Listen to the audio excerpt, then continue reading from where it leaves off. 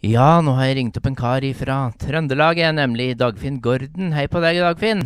Hei, hei. Ja, jeg har hatt deg på tråden før, Dagfinn, men nå er det noen år siden sist. Og det har jo skjedd en del med deg siden sist gang jeg prata med deg òg. Ja, det har gjort. Jeg har spilt veldig mye siden sist, i hvert fall. Ja. Så første gangen du prata med meg, det var vel på 90-tallet, så hadde du prata med meg de forskjellige plateutgivelsene hver gang. Jeg Har gjort det. Så da, ja, det hadde du gjort. Det er fint. Du reiser rundt med enmannsorkester ditt fortsatt, gjør du ikke det? Og spiller og synger Ja. og spiller trekkspill osv.? Ja, det er min eh, jobb. Det er trekkspill og keyboard, og så synger jeg selvfølgelig. Mm. Driver med dette på heltid, eller er det bare en hobby for deg? Nei, Her har jeg drevet på heltid i 17 år. 17 år, akkurat? Jaha. Det som yrke, yrkesmusikant, det blir det hete. Ja. Og du reiser rundt på alle typer arrangementer, eller er det mest for eldre og sånn, eller er det litt for danseglade og alt mulig, eller? Eldre og danseglade, og eldre danseglade, kan du si, da. Ja.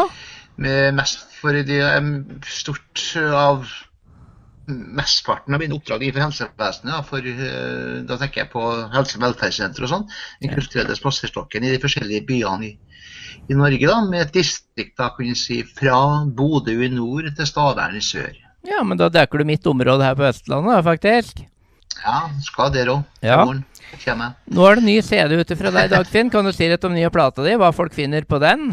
Ja, her er det et tverrsnitt av det som jeg eh, spiller. Det er melodier som jeg liker sjøl, og som jeg har oppfatta at publikummet mitt liker. da. Mm. Den blandinga der med gode, gamle slagere, jeg si f.eks. Blyg den er alle store. Og så har vi litt fra en, eh, Ottar Bighen, som jeg har hørt i unge år, som jeg tok igjen da. Og litt svensk mossipan har jeg tatt med, ja. Rodan Sedemark.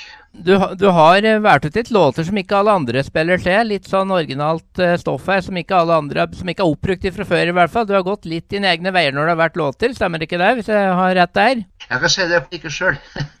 og da ble det sånn, da. Ja, jeg Men skjønner. Det er ikke mange som, nei, det er vel ikke mange som har gitt ut dette på plate. Ja, i hvert fall lenge siden, ja. Ja, vi ser jo Mossipan som kommer fra Roland Sedemark. Den er jo en trekkspillåt. Og så har vi jo Piker, Vin og Rosenrøde dager fra gamle Country Snakes. Dette er låter som mange husker, men som ikke er så mye innspilt i våre dager. Ikke mange som har brukt dem. men Jeg spiller dem ut fortsatt. De er veldig populære. Plata den har du spilt nå til din faste produsent, har du ikke det? Kai Wang?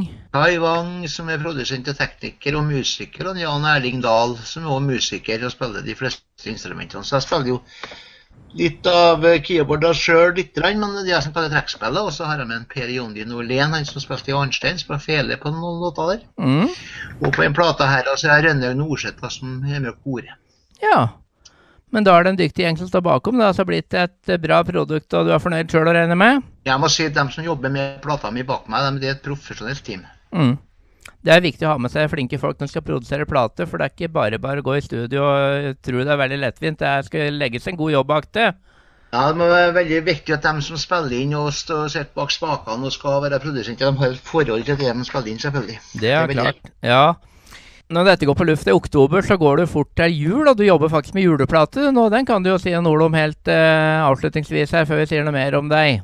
Ja, det kjører vi med er 50% ferdig kan du si, med juleplate, da, som kommer da på november. Mm. Eh, der er det vi godt i gang, ja, så vi holder på å synge nå hele dagene. Ja. Og det blir da et eh, jeg har, Når jeg reiser ved juletider, så har jeg et program som heter, en- ja, heter Juledakapo med noe attåt. Mm. Litt sånn tufta på uh, gammelnorsk noe attåt, da. Ja, jeg skjønner. Det som en Bjørn Erik Thoresen sier. Da blir Og det når juledakapo, det betyr jo om igjen, da, og da spiller jeg jo jule, de kjente, gode, kjære julelåtene. Og så det er det noe attåt, da. Det er litt sånn, kan si, litt mer hverdagsslagere. Ja, jeg skjønner. Ikke bare ren julemusikk, altså, men litt, litt variert. Ha når jeg er ute og spiller ved sånne anledninger. De vil ha jul, og så vil de ha litt annet attåt. Ja, akkurat. Derfor så ga det meg inspirasjon til å gi sånn plate. da. Mm. Så dette er show du reiser rundt med da når det nærmer seg jul rundt omkring, når det blir eh, julebordsesong i den tida, kanskje? Da skal jeg presentere, jeg begynner å selge først på november, og da skal jeg bruke det juleprogram Mm. mitt da, som går på november og desember, og litt, litt på nyttårsballene nå. Ja. Det blir trivelig. Ja. Nå er det sikkert mange som lurer på hvordan de skal komme i kontakt med deg hvis de vil bruke deg på et arrangement eller noe. Kan du si hvordan folk kan ta kontakt med deg? Kan de ringe, eller hva kan de gjøre for å booke deg til noe? Finn meg på Facebook, da, Dagfinn Gordon. Det legger jeg inn her. Men så har jeg også telefonnummer på 48 17 88 54.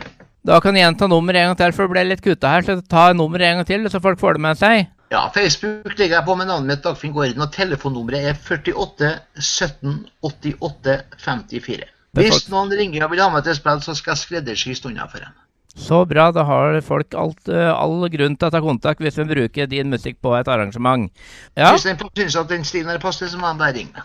Og da tar du på deg jobb over hele landet, uansett om det er i nord eller sør eller øst eller vest eller hvor de befinner seg. Det spiller ikke noen rolle. Jeg er ferdig, folk vil ha meg, så ordner jeg meg slik at det blir, skal bli bra. det skjer. Ja.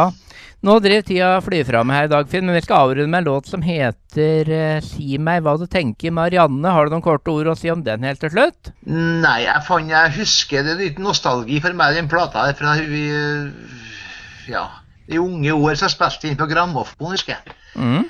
Ute på øya der jeg er fra. Blant annet der, der Ottar Big, Country Snakes og Ottar Biggen. Det var populært til oss da. Ja, Det var sånn jeg kom på den. Jeg fant den igjen forleden her. Da avrunder vi med den, og så takker jeg for en hyggelig prat. Og så må du ha lykke til videre, og så håper jeg folk liker det de hører, og kanskje kontakter deg for å kjøpe plate eller bruke det på en spillejobb. Hjertelig velkommen til å ta en prat med meg om det, og til deg sier jeg tusen takk for at du ringte meg opp.